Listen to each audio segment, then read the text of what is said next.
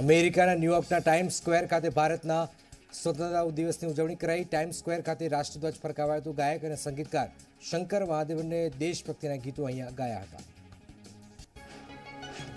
દુનિયાભરના અનેક દેશોના ભારતીય દૂતાવાસોમાં સ્વતંત્રતા દિવસની ઉજવણી કરાઈ. રશિયામાં પેરાશૂટની મદદથી તિરંગાની સલામી અપાઈ. રશિયાના આકાશમાં લહેરાયો તિરંગો. બુકર પ્રાઇઝ વિજેતા લેખક સલમાન રશ્દીની હાલતમાં સુધારો થયો છે. સલમાન રશ્દીને વેન્ટિલેટર પરથી હટાવી લેવાયા છે. સલમાન રશ્દી પર થયેલા હુમલાની દુનિયાભરના નેતાઓએ પણ નિંદા કરી છે. પાકિસ્તાનના પૂર્વ પ્રધાનમંત્રી ઇમરાન ખાનની પાર્ટી પીટીઆઈથી સૈન્ય નારાજ દેખાઈ રહ્યું છે. સત્તા વાપસી માટે સૈન્યને મનાવવા ઇમરાન પ્રયત્ન કરી રહ્યા છે. સૈન્ય વિના તે સત્તા વાપસી નહીં કરી શકે. પાકિસ્તાનના પંજાબ પ્રાંતમાં બસ અને ટ્રક વચ્ચે ગમકવાર અકસ્માત સર્જાયો. તેર લોકોના મોત થયા છે. અઢાર મુસાફરો સવાર હતા.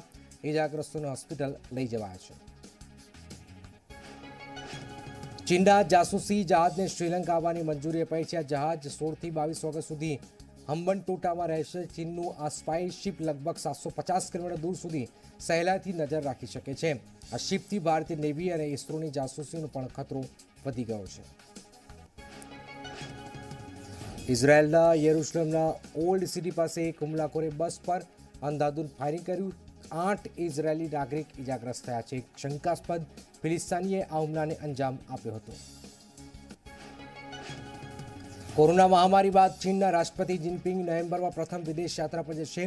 તેઓ ઇન્ડોનેશિયામાં જી ટ્વેન્ટી સંમેલનમાં ભાગ લેશે. આ દરમિયાન તેઓ અમેરિકા રાષ્ટ્રપતિ બાઇડન સાથે પણ મુલાકાત કરી શકે છે. ડોનાલ્ડ ટ્રમ્પ પર પોતાના નિવાસસ્થાને ગુપ્ત દસ્તાવેજો રાખીને જાસૂસી કાયદાનું ઉલ્લંઘન કરવાનો આરોપ લાગ્યો છે. એફબીઆઈએ ટ્રમ્પના માર એ લાગોમાં સર્ચ દરમિયાન વગીરકૃત રેકોર્ડના અગિયાર સેટ જપ્ત કર્યા, જેમાં ટોપ સિક્રેટ લખેલી સામગ્રીઓ પણ મળી આવી છે.